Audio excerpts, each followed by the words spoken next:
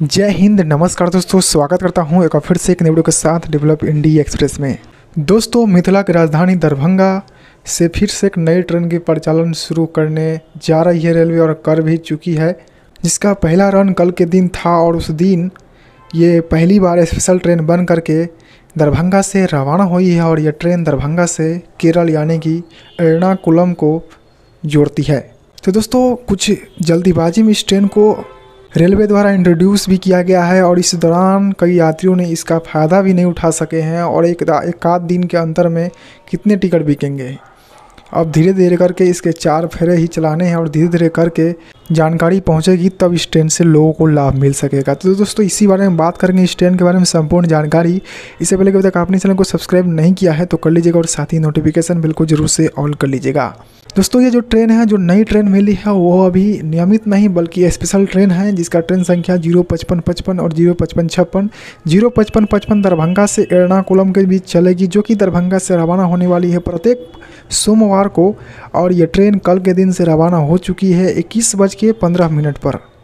यानी कि रात के नौ बज के पंद्रह मिनट पर यह दरभंगा से रवाना होती है और समस्तीपुर बाईस बज के तीस मिनट पर बरौनी तेईस बज के चालीस मिनट पर क्यूल रात के एक बज के पाँच मिनट पर इस रा, इस रास्ते से होकर के बोकारो रांची हटिया राउरकेला विजयनगरम विशाखापत्तनम काटपाड़ी के रास्ते ये एर्नाकुलम को छः बजे बृहस्पतिवार को पहुँचा देती है और इसी दौरान बृहस्पतिवार के दिन ही एर्नाकुलम से रवाना होती हैं, फिर से नौ बजे रात को और इसी रास्ते से होकर के फिर से बरौनी समस्तीपुर के रास्ते दरभंगा को साढ़े छः बजे सुबह को पहुँचा देती है।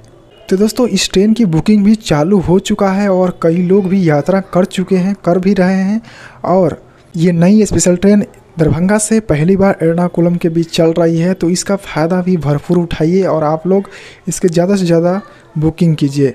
और अब ये ट्रेन फ़िलहाल दरभंगा से 12 दिसंबर तक चलेगी और वहीं एर्नाकुलम से 15 दिसंबर तक चलेगी।